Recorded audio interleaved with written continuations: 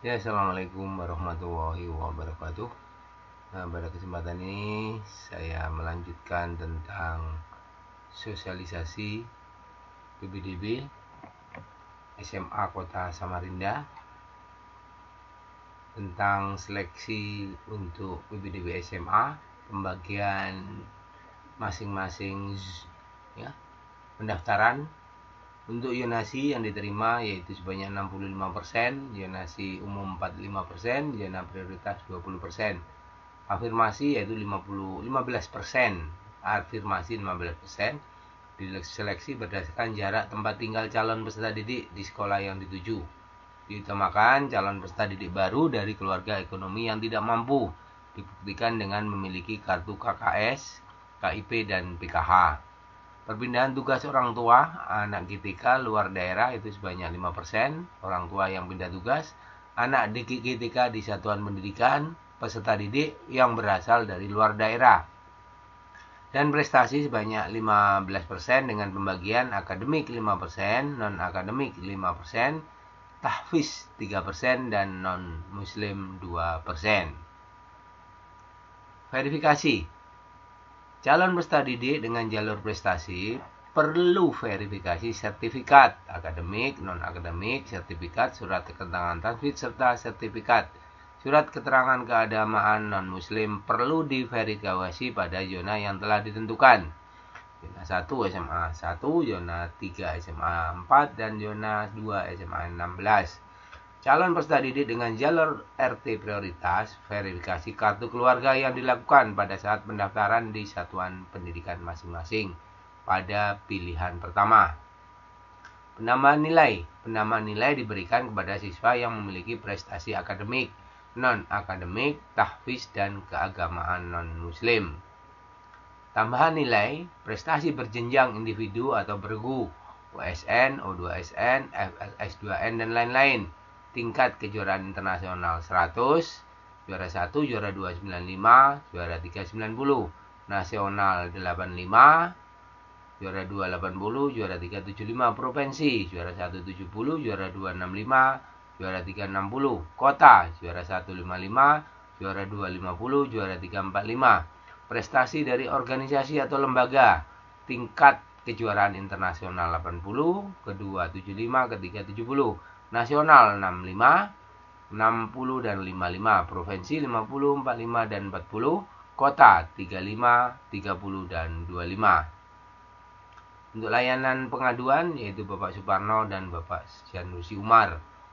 Informasi PBDB yaitu Bapak Ibu Aja Nurhayati MED, Bapak Haji Agus Gojali MSI serta Deni Kurnia Hastuti MPD.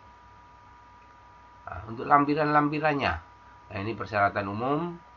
Usia paling tinggi 21 tahun. Nah, memiliki surat keterangan telah menyelesaikan kelas 9 SMP. Memiliki raport dan ijazah SMP MTS paket B. Bentuk lain khusus calon peserta didik lulusan. Persyaratan khusus untuk Yona Ionasi arti prioritas yaitu ditemakan calon peserta didik baru yang berdomisili pada radius zona terdekat dari sekolah yang tercantum dalam RT prioritas dibuktikan dengan kartu keluarga terdaftar sebagai anggota keluarga pada kartu keluarga paling lambat satu tahun sebelum PBDB atau minimal bulan Mei tahun 2022. Peringatan pemalsuan data berujung pada sanksi. Persyaratan zona formasi dan zonasi jalur afirmasi diutamakan calon peserta didik baru dari keluarga ekonomi tidak mampu. Kartu Indonesia Pintar, kartu keluarga sejahtera, melampirkan kartu keluarga sejahtera KKS atau kartu Indonesia Pintar KIP atau program keluarga harapan. Persyaratan khusus untuk jalur prestasi diperuntukkan bagi calon peserta didik baru yang mempunyai prestasi akademik dan non-akademik diutamakan pada prestasi yang diperoleh pada kejuaraan yang diselenggarakan oleh Kemendikbud, oleh Kemenak maupun oleh KONI dan lembaga atau organisasi yang memiliki induk organisasi di tingkat kabupaten kota, tingkat provinsi dan tingkat pusat. Prestasi di bidang imtek, seni, olahraga, bidang keagamaan dan pramuka.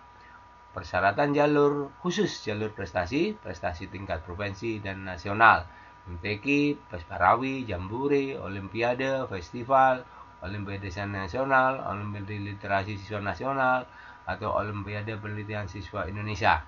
Dibuktikan dengan sertifikat atau piagam.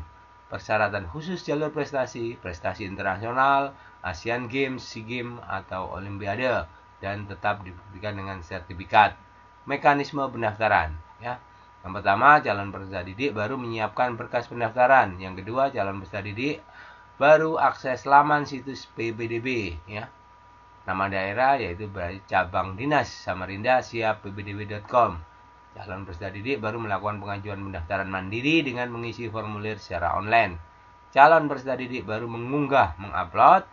Calon peserta didik baru memilih sekolah tujuan. Calon peserta didik baru menyetak bukti pengajuan pendaftaran, operator sekolah melakukan verifikasi yang ke-8, calon didik baru melihat hasil seleksi dan pengumuman secara online di laman situs PDB online. Cabang Dinas, Cabdin Samarinda siap bbdb.com. Persyaratan kelengkapan berkas, ya. Upload dokumen ijazah, STTB, SKL, SMP bentuk lain yang derajat. Yang kedua, upload dokumen akta lahir. Yang ketiga, upload dokumen kartu keluarga file dokumen dalam bentuk PDF atau JPEG, surat pernyataan keabsahan berkas, ini di-download di laman cabang dinas Samarinda, Cabdin Kota Samarinda. Daftar ulang tidak dipungut biaya apa pun dan dilaksanakan secara offline. Peserta didik baru yang diterima dan tidak mendaftar ulang maka dianggap mengundurkan diri dan posisinya digantikan oleh calon peserta didik baru menurut urutan peringkat atau ranking. Itulah informasi tentang PBDB Kota Samarinda. Semoga bermanfaat. Terima kasih. Assalamualaikum warahmatullahi wabarakatuh.